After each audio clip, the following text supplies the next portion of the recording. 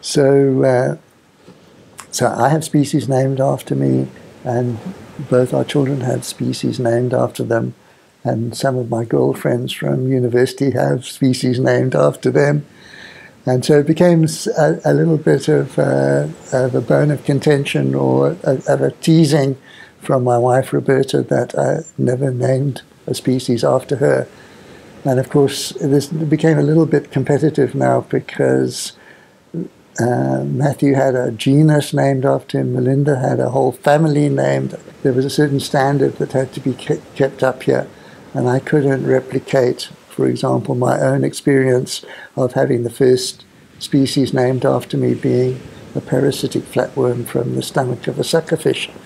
So I had to try and come up with something better than that. And it's taken uh, quite a long time to find the appropriate animal.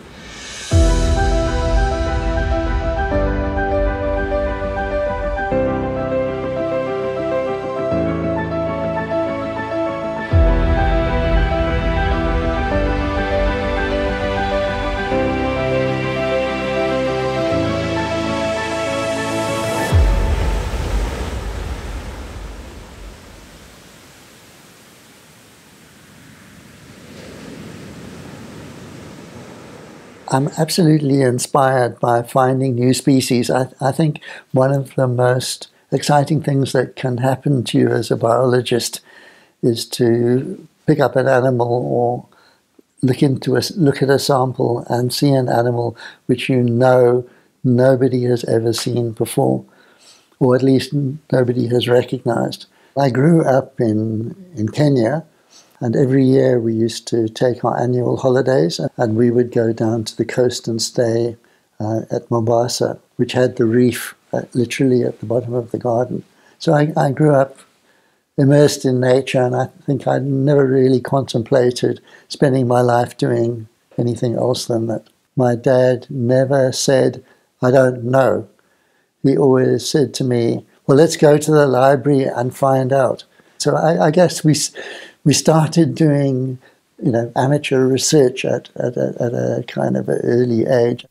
I'd lined up a PhD at the University of Canberra to study bats, and my parents were working in South Africa at the time, so I came in to spend a holiday with my parents. And one day on my way back from the beach, I bought a Natal Mercury. There was an advertisement for a job at UCT. In my university vacations, I'd volunteered in the zoology department to uh, help the head of department, Professor John Day.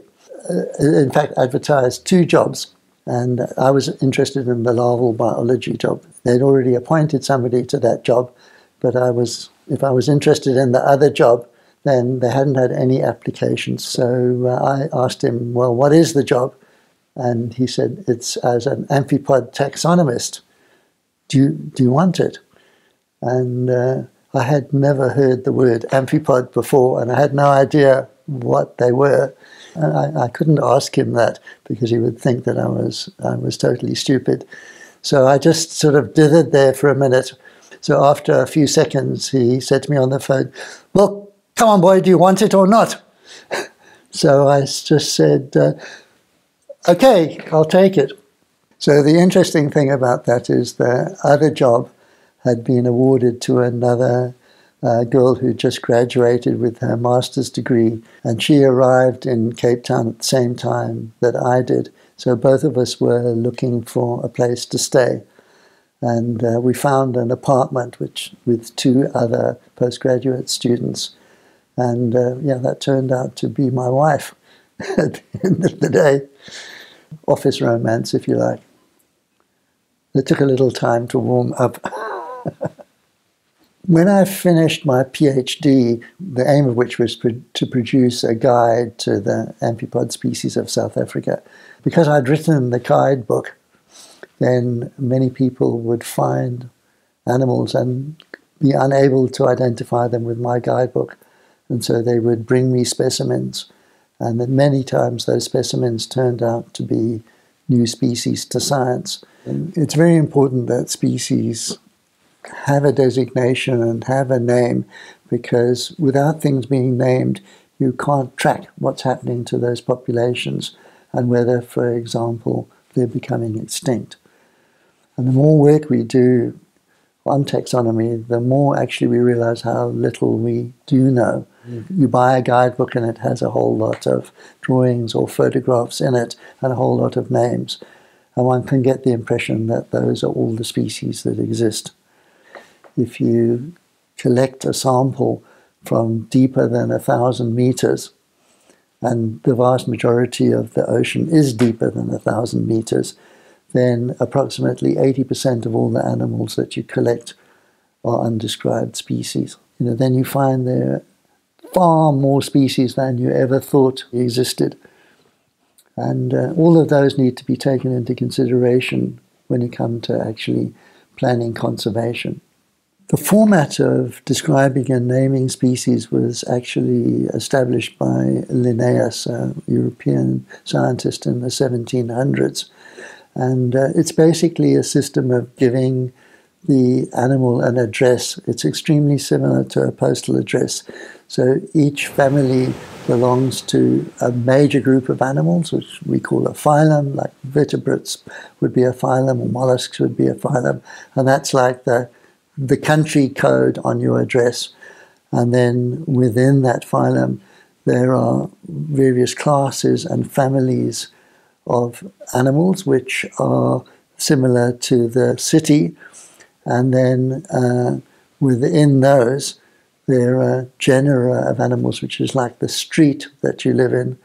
And then within that genus, there are many species, and that's like the individual houses.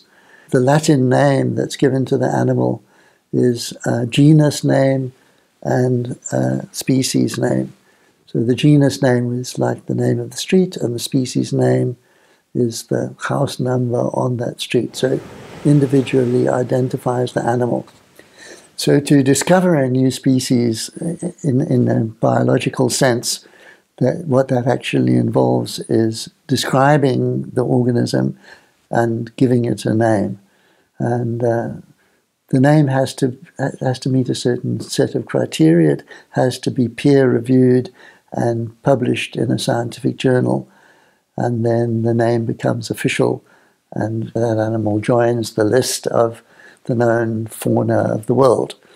But the actual words that you use to name those species can be almost anything.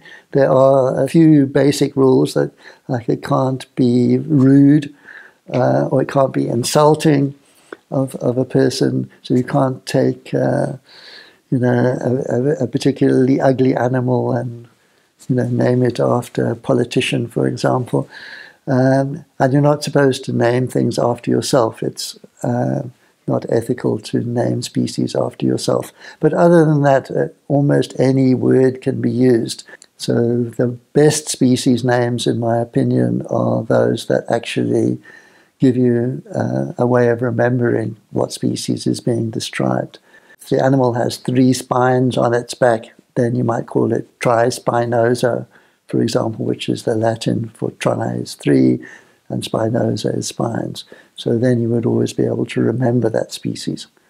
But many species are named after the places that they've been collected, or they're named in memory of family members or famous scientists who have worked in that field, for example, is a, is a very common thing.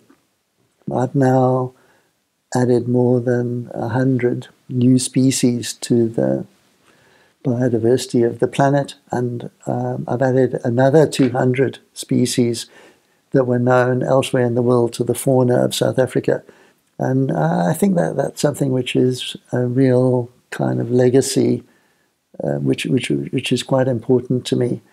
Um, and the, the other aspect of doing this type of work is uh, essentially all of this work has involved students and uh, training students. I've trained thousands of undergraduate students over my 50 year career at, at, the University of Cape Town, and all getting on towards 100 are over 90 master's or PhD students, many of whom have gone on to illustrious careers around the world in uh, the biological fields. But uh, taxonomic information remains valid for centuries. So it's a combination of uh, the taxonomic legacy and passing on the knowledge that I have uh, and the skills that I've learnt to another generation of not only taxonomists but scientists in other fields are, are really what, what drives me, I guess. yes, I, when I first started naming species, and uh, bear in mind that I was a fairly raw PhD student at that time, I started naming them after girlfriends that I had. Of course, at that point in my life, I didn't anticipate that I would describe over a hundred species and that, that I would soon run out of options.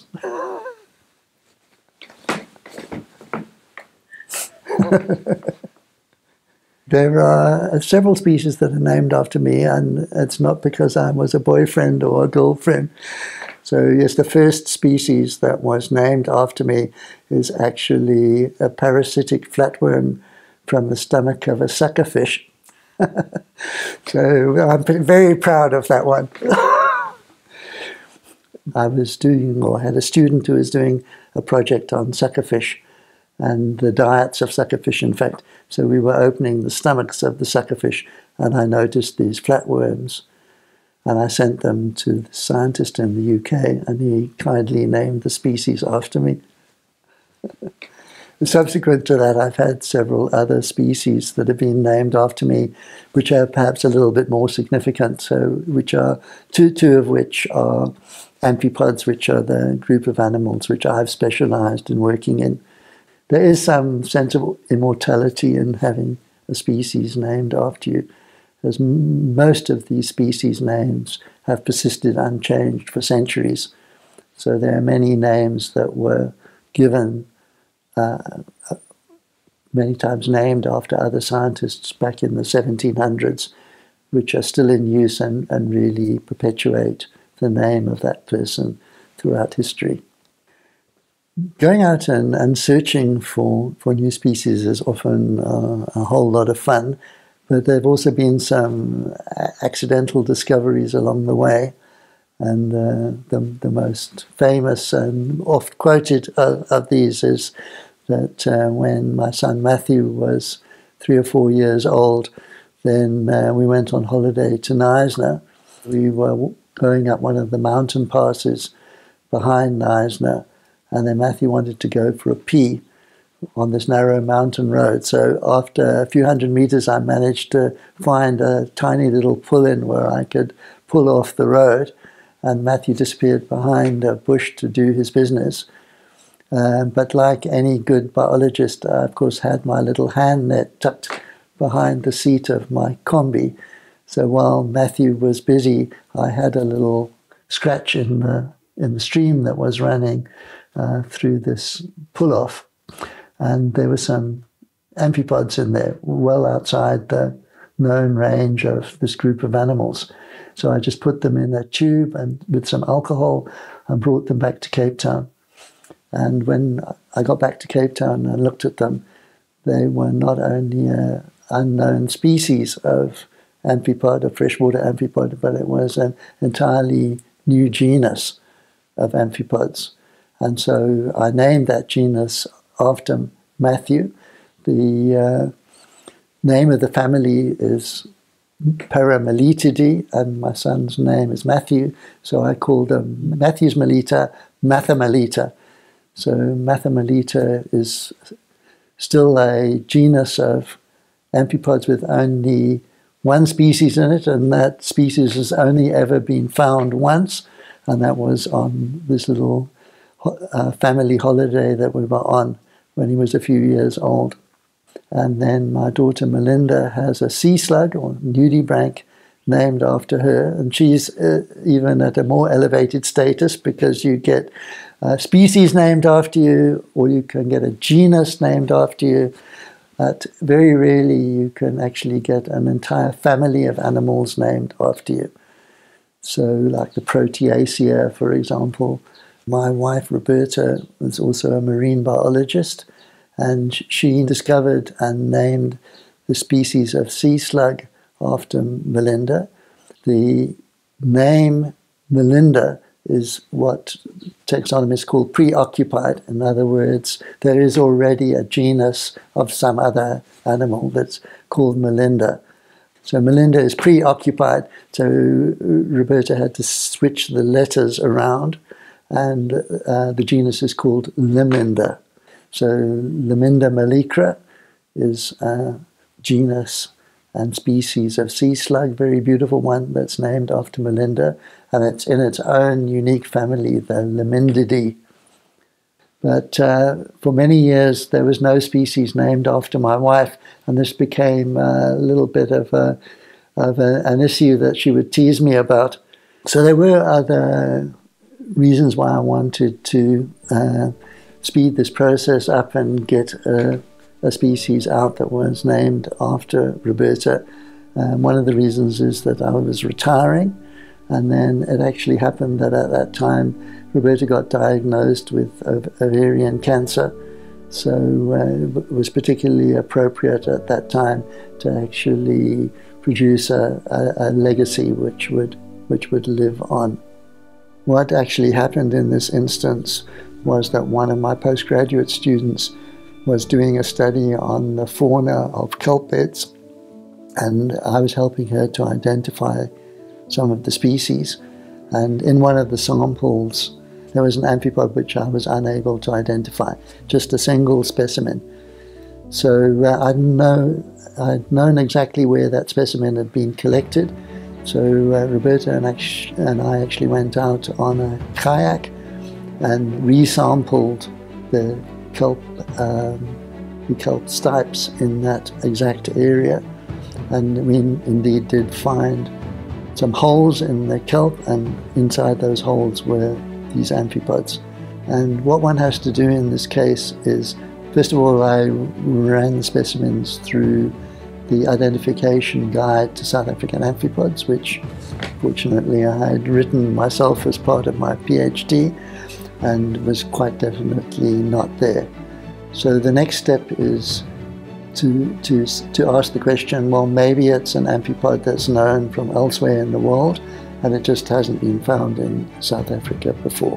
One can almost always identify these animals to genus.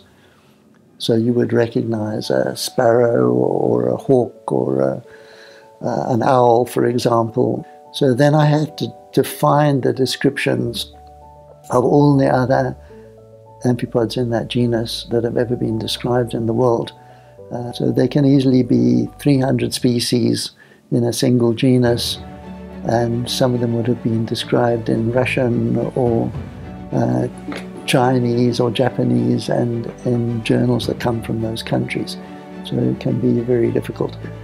Uh, or it can be very easy in that there may be only one or two existing species in that genus. So this was kind of an intermediate case, and very luckily, a scientist from New Zealand had recently done another paper in which she'd reviewed the group and described some new species from Australia and New Zealand. So, uh, using her paper and a few other resources that I could get from the internet, I could quite easily establish that the species had not been described from elsewhere. Um, and it also had unique habits. There's only one other species that's known to burrow into kelp, and that comes from North America, and it has quite different anatomical features. Uh, having established that, then one has to write a proper formal species description. And this is basically just a written account of what the animal looks like, which is accompanied by photographs or drawings of the structures of the animal and uh, a written argument in which you explain why you are sure that this animal is not the same as any of the existing ones. And then that description and those illustrations have to be published in a peer reviewed journal, and only when they've been approved by one's peers and properly published in the journal does the species name become official. So I wanted to find something that was meaningful to name after Roberta. The first projects that Roberta and I did together when we were both working at UCT was a thing called the Kelp Bed Project. So we worked for several years together on kelps. And then uh, I, I did, had done my PhD on amphipods, and Roberta had helped me a lot with the field work for that project. So both kelp and amphipods had a significance between us. So having an amphipod that burrowed into kelp kind of molded those two themes together and made a very suitable species. And it was also uh, quite a spectacular looking amphipod with very interesting habits, which maybe Roberta has as well. so uh, a few years ago, I did uh, secretly write up and publish a paper describing the species after Roberta. It's called Sun Amphitoe roberta. And uh, then I made a nice framed photograph of the species and attached a little vial to it with one of the original specimens of that species. And then I presented it to her as a birthday present. She really got very emotional and excited about it. So I think it was something which had been uh, on her mind for, for quite a few years. And uh, she thought maybe that I would retire and forget about her. So she was pretty excited that uh, I'd, I'd, managed to uh, squeeze it in there and in secret and get the species out without her knowing about it. Another interesting aspect of adding this species with Roberta's name in it is it now means that we're a family of four, and all four members of the family actually have species named after them. And in the end, we actually had a front page article on the Sunday Times and a photograph of the family, with each holding a photograph of of the species that was named after them. So it was it was quite a media event. I go to work every day because I, I love it. I mean, it's, it's what gives meaning to my life. So it's, I'm definitely not one of these people who uh, says uh, TGIF. my whole career has been something which um, I've been extremely grateful that somebody's been willing to pay me to do it, but somewhat surprised. Um, but it's something that I really do because of the pleasure that I get out of it. And that pleasure not only comes from, from discoveries made, but from uh, students trained. It's a very fulfilling thing to uh, see people that you've interacted with and helped along with their careers go out and, and make a name for themselves. There's not much more, more rewarding than that. So I'm very happy that I've been able to name species after my son and now after my wife, and she in turn named a species after our daughter.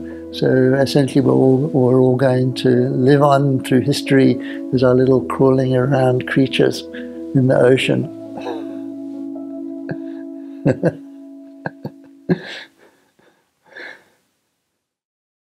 we have a tradition of birthday cards in our family, and this is the last birthday card that my mom gave to me.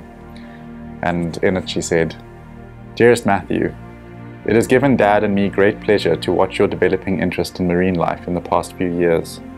We have a lifetime of shore visits, but still find every one a new experience. For us, it is food for the soul and mind, and it is also great fun. Personally, I wonder at the beauty of the shapes, colors, patterns, and behavior of the animals and their design for survival in this habitat. The changing moods of the ocean and the populations of animals provide something new to see and learn. Perhaps you now understand our passion for the ocean and its shores. Enjoy your shore visits. Much love from Mum, Dad, and Benjamin. Hello, Matt. Good morning. Good morning. Good morning. It's Happy your birthday. birthday. Happy birthday to, to you. I don't think we can sing much further. We're not very good, good at singing. Have a good day. I look forward to seeing you later. Yeah, you're still a spring chicken too. You don't need to feel old today. Enjoy. Enjoy the day. Hope it goes well. See you later. Lots of love. Bye.